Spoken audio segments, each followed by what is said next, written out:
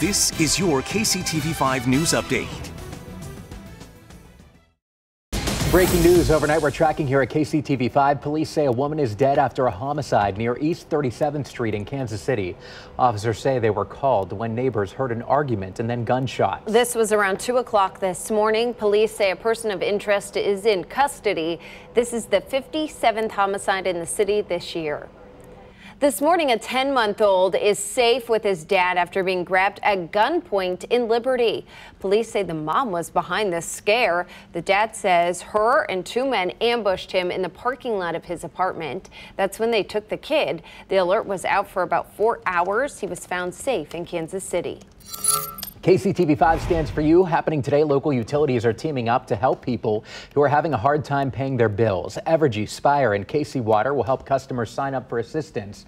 It's happening outside the Southside First Baptist Church at 50th and Garfield from 4 to 6 p.m. If you can't make it today, don't worry. Three other events are in the works.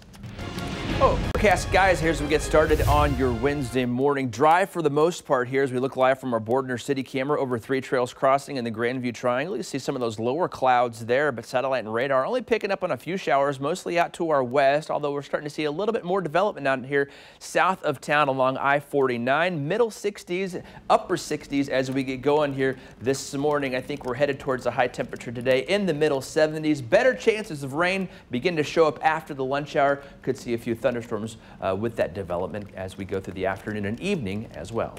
Turn to KCTV5 News for the latest all day. This is your personalized update because KCTV5 News stands for you.